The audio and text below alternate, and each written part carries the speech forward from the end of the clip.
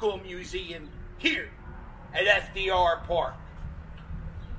I've been parking in this park for many, many years and hanging out in this park. I've never been in this museum. What goes on in this museum? I don't know.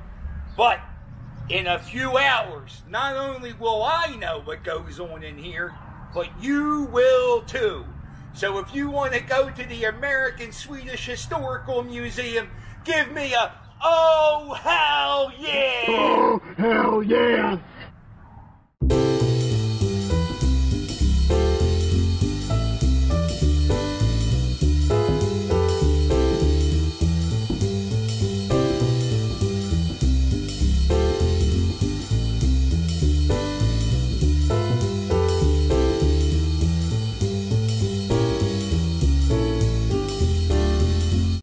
This whole room just talks about the history of how uh, Swedish settlers came to America in the uh, 1600s, right? These are carpenter braces, and uh, like this is how they made log cabins. These are tools, and they're all from 1626, 400 years ago. Uh-uh. And they would use those tools to build one of these guys. Is a land deed from 1698. And if you look who signed it, John Rambo. Uh-oh. This is called the Pioneer Room. Uh, it's supposed to look like a 19th century Swedish farmhouse.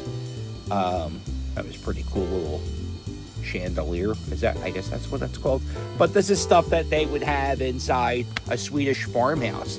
The bricks in that fireplace were actually brought over from Sweden in uh, the 1640s. I thought that was interesting. Nice little clock there, and the uh, the ceilings painted. You know, that's a lot of lot of houses we don't paint the ceilings. Uh, they did. Good for them. This kind of looks like the Stations of the Cross, but some people are dressed like Jesus's time, and then some of the people are wearing suits. So I thought this was kind of interesting. Look, see that guy's wearing a suit and he's stabbing Jesus. I don't think that's how it went. Uh, and look, there's angels. I don't know. I thought that was neat. And before you go in the Pioneer Room, they have this poster of the Pippi Longstockings movie. I'm like, what the hell is this for? And it turns out this was like a whole Pippi Longstocking uh, themed room. Look, there's some like IKEA toys to play with.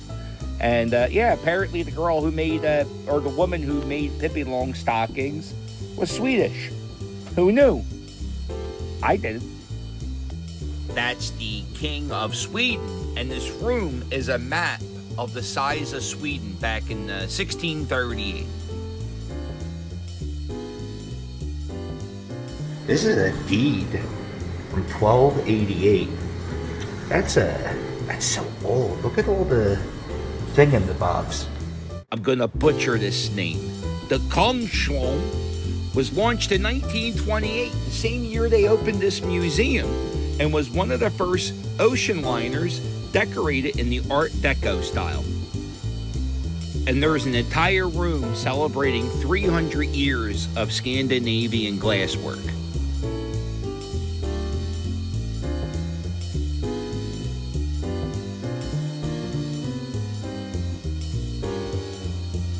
This is Fredrika Bremer. She was a Swedish novelist and an advocate for women and human rights. And I think this is supposed to be a representation of what her living room would look like. These are some of the books she wrote, and uh, there's a mold of her hand that she wrote the books with. There it is. This is the Jenny Lind room.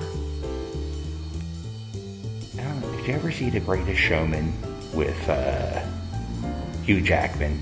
There's he gets a, a singer from Europe who he's never heard, and he signs her up to a contract to sing.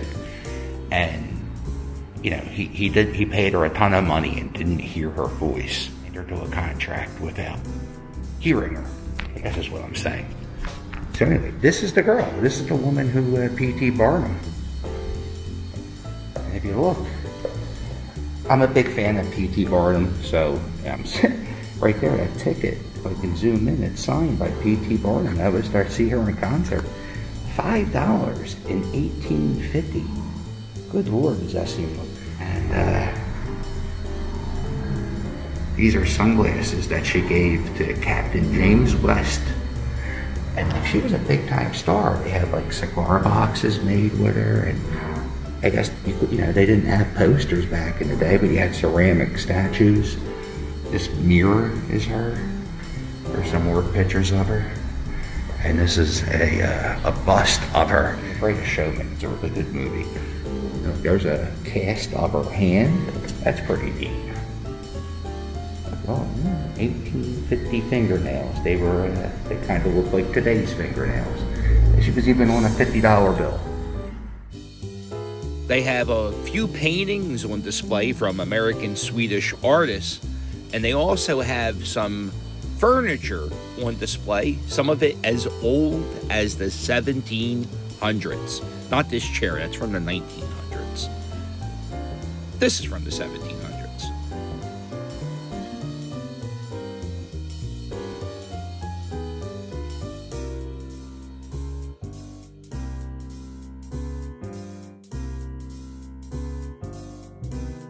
This is John Ericsson, and he was the first person to successfully invent and install a twin screw propeller. This mural shows you a meeting he is having with the War Cabinet of Abraham Lincoln.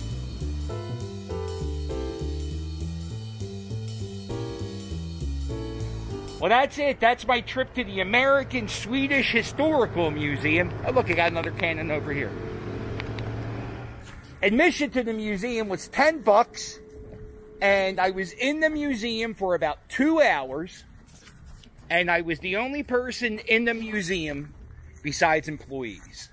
Uh, make sure you hit like and subscribe, and I'll sail with you later. Uh, yeah, that's Swedish for goodbye. Toodles!